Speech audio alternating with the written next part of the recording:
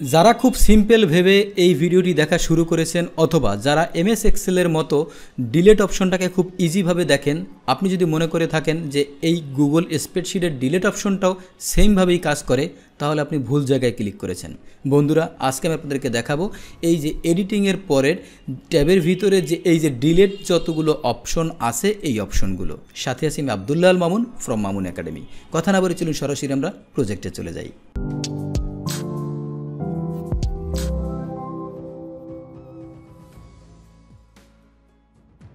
Welcome back. বন্ধুরা Google স্প্রেডশিটের ষষ্ঠ পর্বে মামুন একাডেমি থেকে আমি আবদুল্লাল মামুন আবার আপনাদেরকে শুভেচ্ছা এবং স্বাগত জানাচ্ছি। আমরা অলরেডি সিরিজ কোর্সের ভিতরে আসি যারা আমার ভিডিওগুলো দেখতেছেন, তারা হয়তো বা জানেন যে গুগল স্প্রেডশিটের উপরে আমরা অলরেডি ছয়টা না পাঁচটা, কয়টা আপনি কমেন্টসে জানান ভিডিও দিয়ে ফেলেছি। আজকে হচ্ছে তার ষষ্ঠ পর্ব। বন্ধুরা, যেখানে আমরা আলোচনা করেছি ফাইল মেনু এবং ইন্টারফেস সমস্ত কিছু। গত পর্বে আমরা দেখিয়েছি এডিট মেনুর এই পেজ স্পেশাল পর্যন্ত। আজকে আমরা দেখাবো এই ডিলেট যেতগুলো অপশন আছে, ডিলেটের কি কি কাজ আছে, এইগুলো। অনেকে হয়তো বা ভাবতে পারেন যে, মামুন ভাই ডিলেট এটা তো আমি এখানে ক্লিক করলে ডিলেট হয়ে গেল। না বন্ধুরা, এটা অতটা সহজ ডিলেট নয়। যদি সহজ হতো, তাহলে হয়তো আমি ভিডিও বানাতাম না। গুগল স্প্রেডশিটের ডিলেটটা একটু ঝামেলার একটু ঝামেলার না, খুব মজার।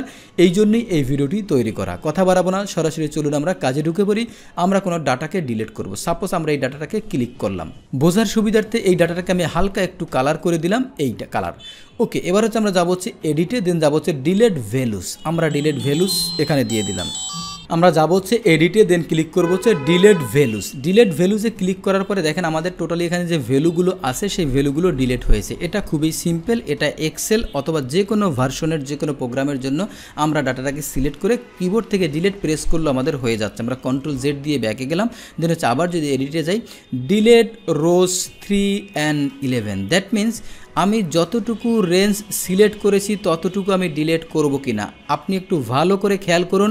আপনি দেখেন এখানে আমি এই যে রো থ্রি থেকে আমি সিক্স পর এগারো পর্যন্ত দ্যাট মিনস থ্রি থেকে ইলেভেন আমি এখানে আবার সিলেক্ট করলাম, দেখেন এখানে একটা মজার জিনিস থ্রি থেকে ইলেভেন দ্যাট মিনস আমার সিলেকশনটা থ্রি থেকে ইলেভেন আমি যদি এই জায়গাটা ক্লিক করি, আবার যদি এডিটে যাই, দেখেন ফোর থেকে টোয়েন্টি থ্রি আবার যদি এখান থেকে এতটুকু ক্লিক করি এডিটে যাই থ্রি থেকে এইট এটাই হচ্ছে গুগল স্প্রেডশিটের একটা ম্যাজিক যেটা হচ্ছে আপনার এমএস অফিসের যে এক্সেল সেখানে কিন্তু এটা নেই।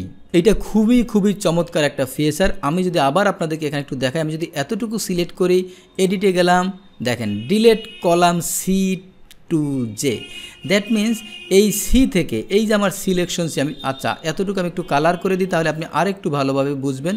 বোঝার সুবিধার্থে ওকে এখন যদি এখানে আমি সিলেক্ট করলাম দেন যাব হচ্ছে এডিটে দেন দেখেন, কলাম ডি টু আই এই যে দেখেন, কলাম আমাদের সিলেক্ট করা আছে কোথায়? এই যে, এটা হচ্ছে ডি এবং টু আই আবার যদি আমি একটু বেশি সিলেক্ট করি, এতটুকু সিলেক্ট করি, তাহলে দেখেন কি দেখায়।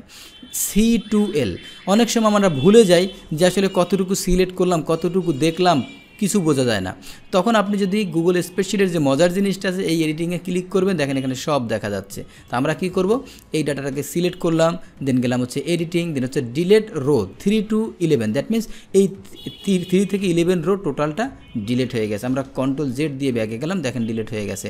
আমরা কি করতাম? এমএস এক্সেল হলে এতটুকু সিলেক্ট করতাম দেন কিবোর্ড ইউজ করতাম, অথবা এখান থেকে ডিলিট করে দিতাম। এই যেখানে রাইট বাটন করলে যে অপশনগুলো আছে, এগুলো আমরা পরে দেখব অন্য একটা টিউটোরিয়ালে আমরা এখানে ক্লিক করলাম দেন হচ্ছে এডিট এখন দেখেন delete column F that means only column F F কলামটা delete হয়ে গেছে, আমরা কন্ট্রোল জেড দিয়ে ব্যাগে গেলাম।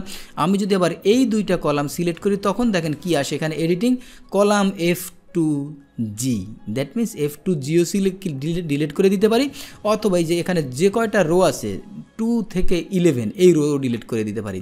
সবচেয়ে মজার ব্যাপার হচ্ছে, আবার যদি আমি ক্লিক করি এডিটিংয়ে যাই, দেখেন ডিলেট কলাম ই থেকে আই তখন কিন্তু রো দেখাচ্ছে না। কারণ হচ্ছে আমি টোটাল একেবারে সমস্তটা ধরে সিলেক্ট করেছি। অথবা যদি এতটুকু সিলেক্ট করতাম, তাহলে দেখেন ডিলেট কলাম রো অনেক কিছু দেখাবে। টু থেকে নাইনটিন ই থেকে এল এবার যদি আমি এই রোটা ডিলিট করে দেই, দিলাম। আবার যদি এডিটিংয়ে গিয়ে আমি কলাম ডিলিট করে দেই, দিলাম দেখেন, কত সুন্দর। দ্যাট মিন্স আপনি কি করবেন, না করবেন টোটালি কিন্তু এডিট মেনু আপনাকে বলে দিচ্ছে।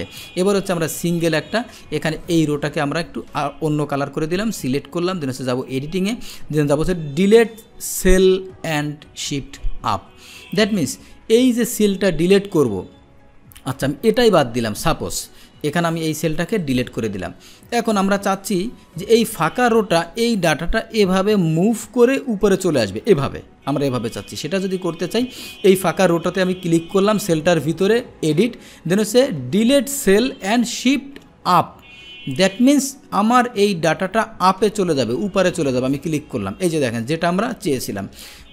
অথবা আমরা যদি চাই যে এই ডাটাটা যেটা আফ না হয়ে এই ডাটাটা এভাবে মুভ করে যাবে, সেটা আমরা কীভাবে করতে পারি? এই ডাটাটা সিলেক্ট করলাম দেন হচ্ছে এডিট দেন হচ্ছে delete cells and shift left. এই যে দেখেন, লেফট হয়ে গেছে। তার মানে গুগল স্প্রেডশিটে এই ডিলেট জিনিসটা খুবই খুবই মজার এবং চমৎকার যে আপনি ইজিলি আমরা যখন এক্সেলে কাজ করি, তখন আমরা যদি এটাকে ডিলেট করতে চাই, আমরা এখানে ক্লিক করে আমরা করি কি, ডিলেট।